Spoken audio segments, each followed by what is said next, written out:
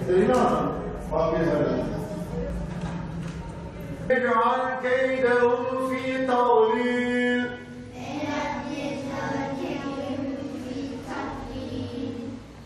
وأرسل عليهم طيرا أبابيل Camilerde gerçekten cep telefonlarının sesi cemaati rahatsız ediyor. Bir de çok farklı müzikler var.